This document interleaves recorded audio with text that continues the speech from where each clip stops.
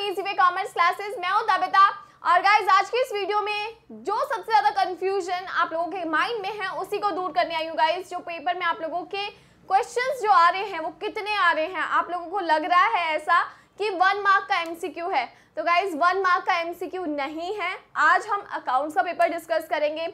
आप लोगों को जो चीज़ क्लियर है, वो पता है आपको कि टाइम लिमिट 90 मिनट्स की है, यानी कि डेढ़ घंटा।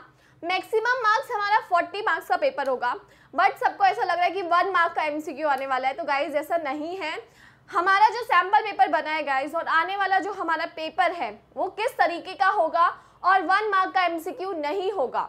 तो कितने मार्क्स का होगा, वही देखते हैं। देखो, सबसे पहले तो गाइज़ आपका पार्ट वन टू और थ्री में पेपर आएगा। पार्ट वन जो कि सबके लिए कंपलसरी है, सबके लिए बोले तो इसमें पार्टनरशिप है और कंपनीज़ की आपकी बुक के क्वेश्चन है। जो कि तीन पार्ट्स में डिवाइडेड है सेक्शन ए बी सी में।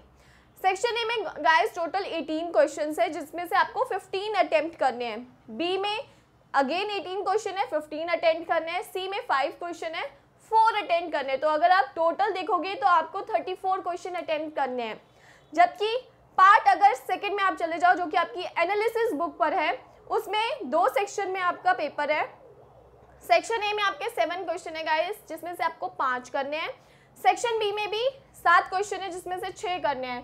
तो छः और पाँच हो गए ग्यारह। आप थर्टी फोर क्वेश्चन इसमें से और इलेवन इसमें से। पार्ट सी जो है गाइस वो कंप्यूटराइज्ड है। मतलब कंप्यूटराइज्ड अकाउंटिंग है तो वो चॉइस होती है, जिन्होंने ये सब्जेक्ट लिया होता है, वही देते हैं।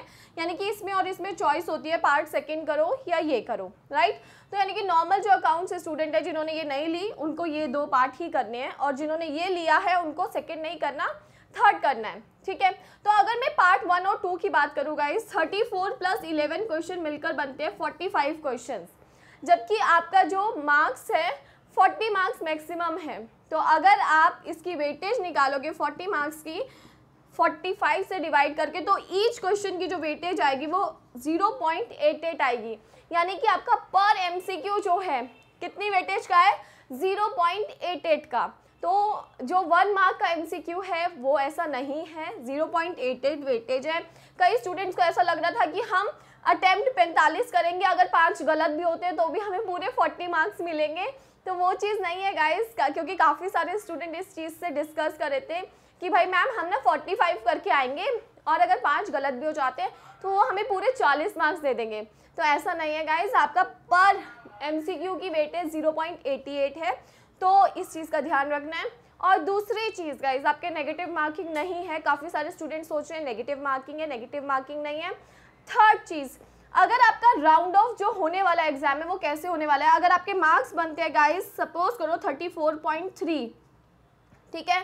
तो आपको हाईएस्ट नंबर दिया जाएगा, यानी कि थर्टी फाइव और एक स्टूडेंट है, उसके बन रहे हैं थर्टी फोर पॉइंट नाइन तो उसका भी थर्टी फाइव ही बनेगा।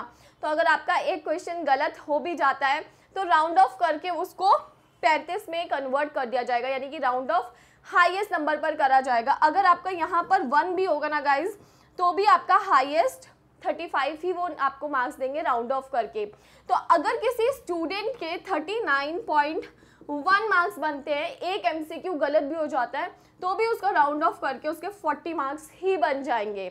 तो ये एक आपके लिए प्लस पॉइंट है बट एम की वेटेज कितनी है? Zero point eight eight accounts के पेपर के लिए, ठीक है? और मैक्सिमम मार्क्स फोर्टी रहेंगे तो कोई भी M C Q one mark का नहीं है गाइज़ आपका एम सी की वेटेज कितनी है? ज़ीरो पॉइंट एट एट की है। ये आपके साथ आज डिस्कस करना था। अगर कोई भी डाउट है क्वेरी है वीडियो के कमेंट में शेयर कर सकते हो, या फिर इंस्टाग्राम पर मेरी आईडी है तबिता मैसी वहाँ शेयर कर सकते